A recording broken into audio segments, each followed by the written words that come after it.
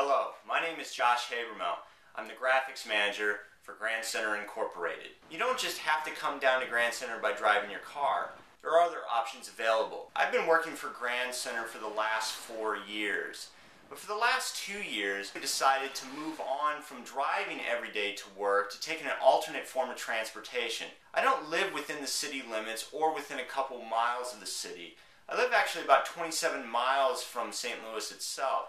So actually taking the alternate form of transportation for me has been a great help. It is definitely less stressful. I mean, you have time to basically relax. I think it's great for people to have more than one option to go somewhere and especially Grand Center because there is so much to do and there's so much to see. It's ironic how Grand Center has so much to offer and there's a lot of opportunities to take mass transit within Grand Center. There's a lot of bus lines and there's even Metrolink stops as well that are available to people and they may not even think about it and take it for granted, but they're there.